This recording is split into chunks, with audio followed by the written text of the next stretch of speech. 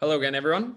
My name's Joe Callingham. I also gave you the lecture on the introduction to interferometry. Now I'm going to come back to polarization. It feels like I'm kind of booking bookending the uh, the course here. Um, so I'll introduce what we can do with polarization. Why is polarization interesting, and why is it hard? I've called it AKA the hard stuff. I'm, I'm usually not a fan of making things out to be more difficult than they are, but polarization is tricky and it takes a bit of time, but the reward you get at the end is is usually well worth the effort.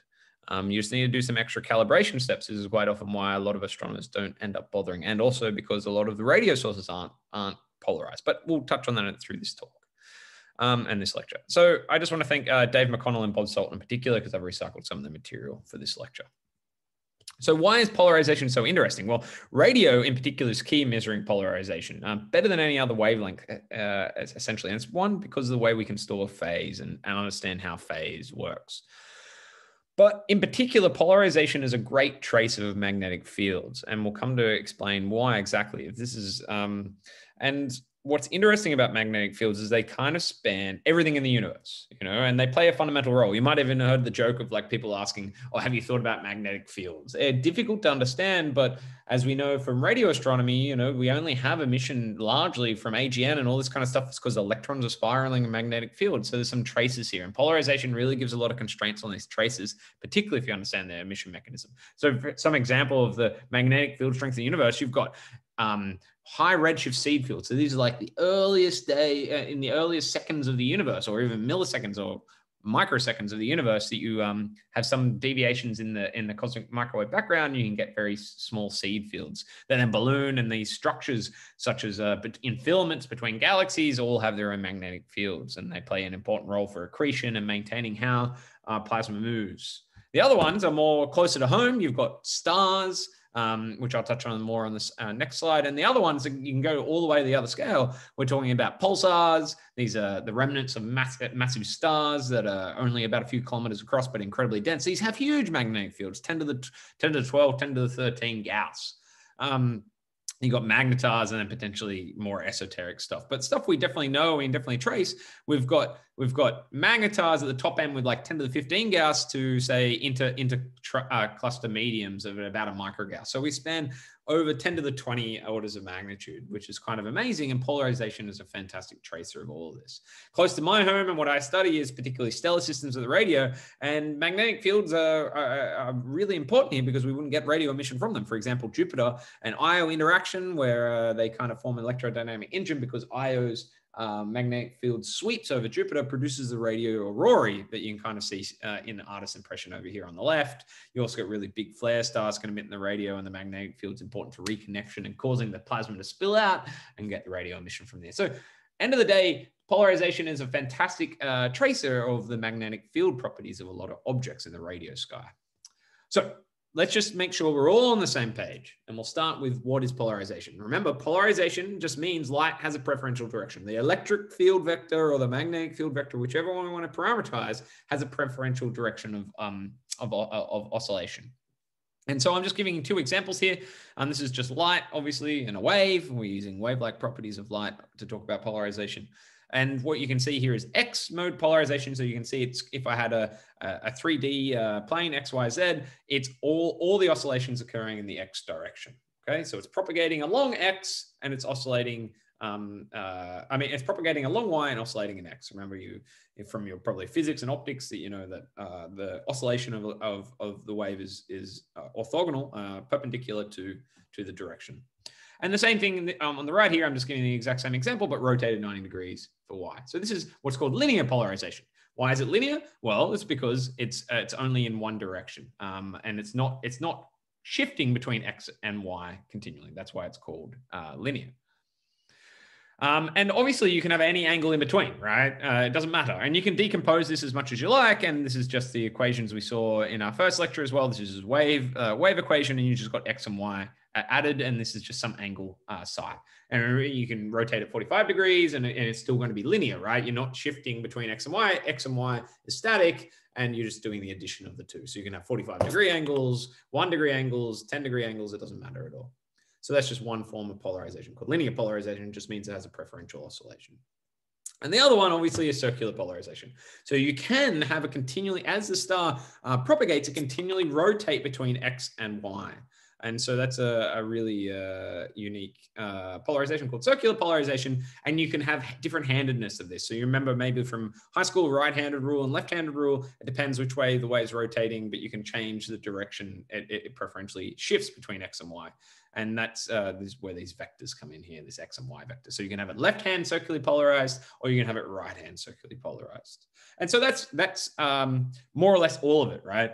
Um, and what's amazing with polarization, and you probably learned this in optics as well, is that you can decompose, no matter if it's just linearly polarized, no matter if it's circularly polarized, you can decompose it all into in terms of two orthogonal bases. So you can kind of see this in this gift here that um, what I've got is imagine I've just got, I'm sampling the wave at a particular point and uh, this is just say a Y, um, let's call it a feed, an X uh, feed, there's a horizontal and a vertical feed. And that means when the incident light, even if it's circularly polarized or anything, I'm just, I can just sample all that information in that plane and I just record the angle and that will rotate and it can shift, all that kind of stuff. But as long as I just have two orthogonal uh, feeds, I can uh, intercept and record all that polarization features. So how do you describe uh, polarization? I kind of already mentioned this briefly.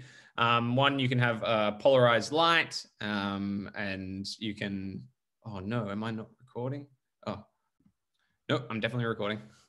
Um, so uh, there's just different ways of uh, describing polarization. One is total power, so the amplitude. Um, uh, the other way is talking about fractional powers between the horizontal and vertical linear components, and then the phase relationship between all of those. So it's very similar before. Um, before I go further, and I really should mention this is a reasonably short lecture. This is just to introduce some of the concepts. And what I would do if we were in person, we'd go through a tutorial together and make sure these uh, are a little bit clearer. But again, I can be on Slack and all that kind of stuff to answer these questions. But anyway, so how do we parameterize in radio astronomy uh, polarization? So we've talked about the electric field vectors of, of these waves, but uh, that's not generally the way radio astronomers tend to think about. We've used what's called the Stokes um, parameters. Um, uh, so what are, what are these Stokes parameters? Well, they're a lot easier to use over direct measurements of the electric field vectors. And it's because they're not a vector quantity. They just deal with the power of the electric field amplitudes. Um, and one of the reasons you do this is because the correlator, the back end, uh, can produce all Stokes parameters simultaneously. And that's not so easy in optical astronomy. You can't tend to do that. Um, and the exact definition of the Stokes parameters does depend on the feed, which gets a little bit complicated, but this is just a way of just um, describing linear and um, circular polarization that's easy with the instruments you have. So what are the Stokes parameters? You have what's called Stokes I. And you can see here, it's just E squared plus EY squared. So these are just the amplitude of the vector squared. So it's just a measure of what's called total intensity. It's just how bright is that source. And then what you have, what we call more the polarization uh, components of the Stokes parameters. You have what's called Stokes Q, Stokes U. Um, they're just linear components. Uh, uh, they break down how um, how your wave is related to eh, how much linear polarization your wave has. And the final one is called Stokes V, and this is, uh, tells you about your circular polarization. And technically, Stokes I, if you just had the other Stokes parameters, um, they just uh, summed in quadrature. So I squared is equal to Q squared plus U squared plus V squared. So technically your linear polarization obviously can never exceed your total intensity, your linear and circular. So how do you measure this? Well, there's different types of feeds, just like there's different types of polarization. Uh, the two most common feeds, uh, you can use, you can get more complex here, but the two that most radio astronomers use are just called linear feeds. So what I'm showing you here, a picture, is imagine you're staring at where all the light's being intercepted at the telescope. And so these are often in the receiver. Um, and so what you have here, just imagine these red things are just kind of like two bits of metal bars. You can also imagine that just hanging out. And uh, that is our, remember I told you, I talked to you about these uh, cross polarization, these orthogonal uh, feeds. These are the things in intercepting all the, all the light. And so you can see what you want things is um, you have your EY, this is the, the vertical component in EX. And then from there, you can measure these Stokes parameters. So this is the linear feeds. More complicated things like the, the very large array use um, uh, circular feeds. Now, these are also just um, just as valid feeds. They they at least collect all the light, right? Because you've got the different orthogonal components. You have to have um, uh, x. Uh, you have to have one going in one direction and the other going in the other direction. But once you do all that, you can intercept all the light as well. And this is what I'm showing here on the right is a is a circular feed for intercepting this light. Now, how do you measure these Stokes parameters I just mentioned? Um, and conceptually it's different. Um, I'm only going to focus on linear feeds because I think going into circular feeds is just overkill right now. But uh, at radio uh, frequencies, voltage is going to be measured and correlated. And so these are almost identical um, equations as I showed before, but now these XX and YYs represent the feeds I was saying before. So I is just the addition of all the flux that's on uh, the XX parameter and the YY parameter, and then some of these variants um, are a way to measure linear and circular polarization. Now you might notice, particularly with U and V, you've got XY, not just XX. And remember, because you've got these um, two components to the feeds, right? You've got a top one and a bottom one. These are talking about the cross polarization terms. And so you can kind of begin to understand this is that um, with circular polarization, easy, by far the easiest, right? Obviously it's coming in, if you've got linear feeds, it's going to interact a little bit with the X parameter, a little bit with the Y parameter, a little bit Y, and a little bit with the X. And so they're kind of called the uh, crosshand correlations, while the XX and YY are called the par parallel. So as I said, each uh, antenna measures two orthogonal polarizations, X and Y, and but also you get this information for every baseline and all the possible configurations, XX, YY, XY, YX. And then um, what you want to do is you make sure you appropriately combine these four correlations to get your Stokes visibilities. And then from there, you just perform standard imaging to make um, your Stokes images, such as say a Stokes V image or a Stokes Q image or a Stokes U image. And then you can compare that to total intensity and talk about, say, how circularly polarized something is or how linearly polarized something is.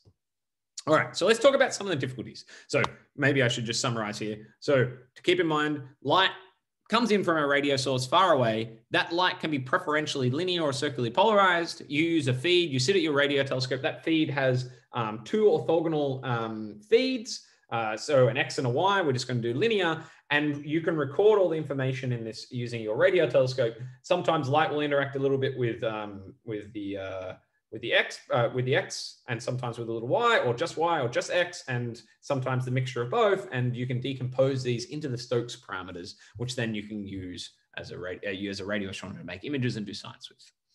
But there's a little bit more complexity here. Um, and this comes back to the Jones matrices. And if I was teaching this lecture in full, I mean, I'm teaching this course in full, I would definitely have made sure you've seen the Jones matrices by now. I really hope you have as well. Um, if you haven't, just ignore this slide, ignore what I'm about to say for the next 30 seconds. But if you have, you remember the Jones uh, uh, matrices have, have, got a whole bunch of different components. One of them is the antenna gain. And so what this is just showing you is um, how your instrument responds in X and Y. And obviously, if you have a perfect instrument, you don't have any extra response outside of X and Y. So remember, the way to think about it is imagine your feeds are perfect, right? They're perfectly orthogonal to each other. But the reality in, in, um, in uh, engineering and all this kind of stuff and in science that you can't make these things perfectly orthogonal. No matter how how good you are you're always going to have a slight shift of angle between them.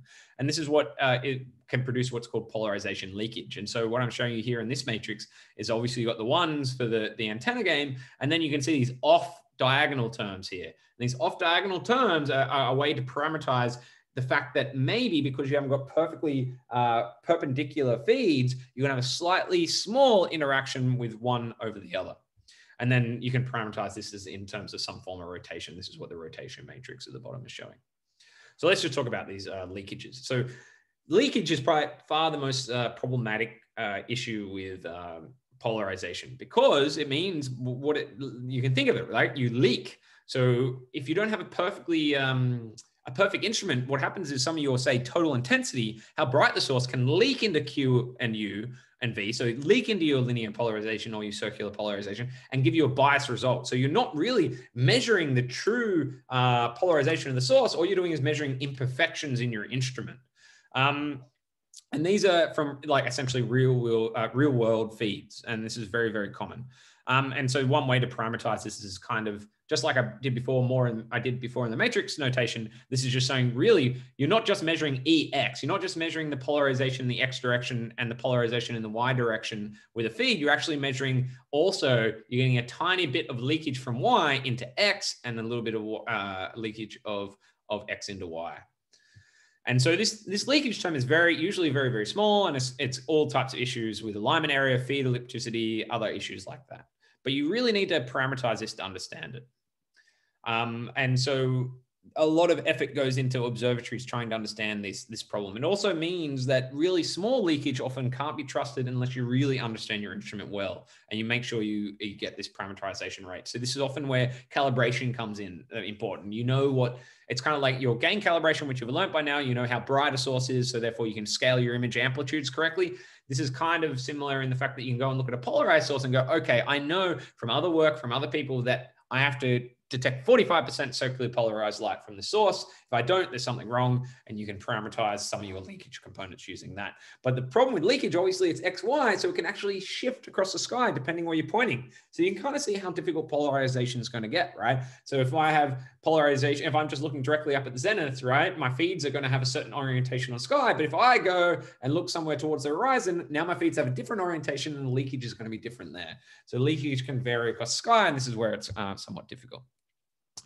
So this is where what um, to make sure you can really understand your polarization and not only that, your instrumental polarization, the way your instrument responds to the sky and responds to polarization, leakage is one of these things, um, is what we use is what's called the parallactic angle. Um, I don't need you to take away too much information here. It's just to introduce you to the concept of it. It's just the angle uh, between the object um, and uh, that you're interested in, say, say a star or, or, or an exoplanet or or a galaxy, and um, you're a zenith. So you imagine here on Earth is our telescope. This is our zenith, so just directly above our head. And then this is where the source is. And the parallactic angle is just the angle between the celestial pole and that, so the celestial sphere. I know these angles can be just a little bit confusing and a little bit dull, but the point here I'm trying to make is that you need to sample this, what's called this parallactic angle to understand how your feeds respond on the sky. Um, maybe this next uh, next slide will make more sense. So you have an alt-az mount. So this is just the standard mount that a lot of radio telescopes have. This means the dish kind of moves and the mount stays still. There's other types of mounts, but I'm just going to fault on the alt-az mount. The old um, for a conventional uh, alt-az mount, you know that if you want to stare at the sky, right, you're going to slowly track it. But this also means the sky rotates relative to the antenna feed. And that's what I was trying to show with this this instrument here, right? If I wanted to look at Rigel and I'm going to point my telescope at it, the sky is obviously rotating. And um, that means instru- instru- instrumental polarization, the leakage, you know, uh, what I've been talking about, how your instrument responds to polarization will be in the frame of the antenna. So your antenna is static on the sky, um, but the astronomical polarization will be in the frame of the sky. So if the source is polarized, it won't change with position on the sky, but your feeds will. And so that's one way of being able to decouple your leakage, your instrumental effects from your astronomical effects. You can see like, okay, I look at zenith. This is what I measure for the polarization of the source. I look at the same source on the horizon, and this is what I measure for the polarization of the source. It's different. So, but the source shouldn't have changed. Uh, for most sources, say like AGN. So therefore, um, what I can do then is calibrate my uh, my instrumental leakage and this that, that that parallactic angle is the dictator of all this because that you're measuring in the frame of the antenna. Okay, so I know that's a little whirlwind, but hopefully, again, happy to ask any answer any questions about this stuff. So what about uh, depolarization? So this is the problem that uh, you just lose polar uh, polarimetric uh, signal. Um, this can happen because you're instrument and also can happen because of the way light travels through uh, our universe or our galaxy, for example. Um, let's think of an example. Uh, so with with uh, depolarization because the sky, you have to remember a photon is emitted from a galaxy. It could be thousands of light years away, but that photon uh, or that, that ray of light, as it enters, it actually interacts with stuff, say, along the line of sight. So it might hit some gas in the Milky Way. And what will happen then, maybe that uh, source far away was perfectly linear polarized, but when it hits uh, this, this dust or gas or stuff in the Milky Way, it can scramble that polarization. That's called depolarization. You know this affects somewhat um, from say uh, the reverse, say looking at um, the water um, on on Earth, you can what light can be polarized coming off that or off the side of cars or the effect in the sky. Um, you can get polarization because of the interaction with media along the line of sight. And but usually in radio astronomy, this leads to depolarization. It scrambles the signal. But you also can have um, uh, uh, problems with your instrument. And uh, this can be all types of reasons, uh, got to do with electronics, or you can have a polarimetric response that's not being constant, and that can smear out a signal as well. I'm not going to focus too much on that type of stuff, but it's just to introduce you the concept that you have to be really careful with understanding your instrument with polarization. To, to otherwise, um, you can't get it back. All right, so we've talked about polarization. What's just some of the concept we can draw out of it? Maybe before I introduce the concept, I just want to remind you that majority of radiation that we receive from extragalactic sources and most radio sources is, is synchrotron radiation. This is just radiation from electron uh, rotating in a magnetic field. And as it rotates in a magnetic field, you obviously have some force on it, and that force then causes acceleration, and which means cause that you can get emission of light and uh, emission of a photon, and this is usually a non-thermal uh, effect. But why is that important? Because there's a few things with polarization that we can use to measure that really is just not available at other ones. And one's called the rotation measure. So I was kind of alluding this to you before that you can have a linear polarization of a source far away. And as it enters, it encounters junk along the line of sight, what happens is that polarization can be impacted. Sometimes that can be uh, that can cause depolarization, but also what it can do is cause what's called a Faraday rotation. And that linear polarization, when it goes through a magnetized medium that has its own magnetic field, so obviously polarization starts getting infected because the, the magnetic field will change the orientation. What you can do is get a rotation. And this is what I'm showing here on the right. So far away, um, this electric field here on the left, um, it enters some magnetized medium that causes a rotation, and that rotation then comes out at the end there. And what this rotation actually tells you is about the strength of the magnetic field along that line of sight and the how much materials along that line of sight. So that rotation measure is very, very useful. The other one is polarization vectors. These uh, can give you um, the strength of Q and U relative to other things. You can also take the gradients. You can do all types of cool stuff with measuring in a uh, stellar disturbance. And the last one, um, circular polarization for a synchrotron gives a direct measure of the magnetic field strength. And this is also true from, say, exoplanets and stars. The emission mechanism isn't synchrotron there. It's more complicated. I won't bother going into details, but you can get the direct measurement of the magnetic field strength out from circular polarization.